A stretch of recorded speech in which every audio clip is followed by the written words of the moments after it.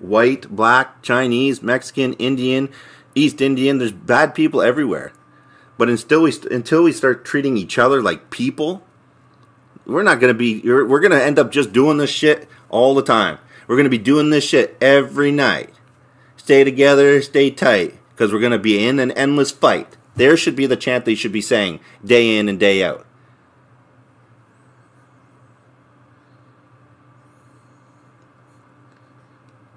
It's sickening.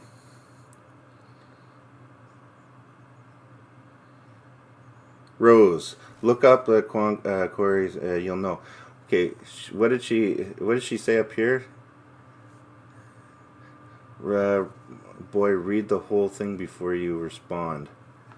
Well, first of all, I don't know if you're talking to me, but I ain't no boy. Look up the Quan Charles, and you'll know we deserve reparation. You deserve shit. That's as that's and I'll be I'll be as blunt as that. If you think you just were you ever a fucking slave? I'm gonna be as blunt as fuck. Were you ever a slave? No. I was never a fucking slave owner, and you were never a fucking slave, so get over yourself. Why the fuck do I owe you anything when I didn't do anything to you? My family didn't do shit to you. My kids didn't do shit to you. My kids, me, we don't owe you shit. Get off your fucking ass and do something. And I'm not trying to be racist because you're black. I'm telling you, I'm telling these white people that are out there the same fucking thing.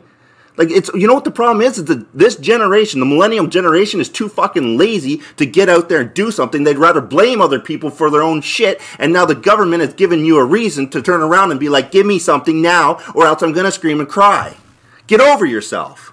You're the problem that is happening in America right now. You're the reason why there's so much corruption on the streets because you feel like you deserve something that you didn't you didn't deserve. You do not deserve it because of your black. Come on, get over yourself. You think the, uh, the white people deserve shit? They don't fucking deserve shit either. Anybody that deserves anything is the people that put the effort and the hard work into it. That's who deserves it. If you work your ass off day in and day out, you deserve everything you get. I didn't have no handouts. I didn't have no white privilege. I didn't have anybody helping me pay my bills or anything like that. Like, come on. Come on, man. Like, seriously, get over yourself.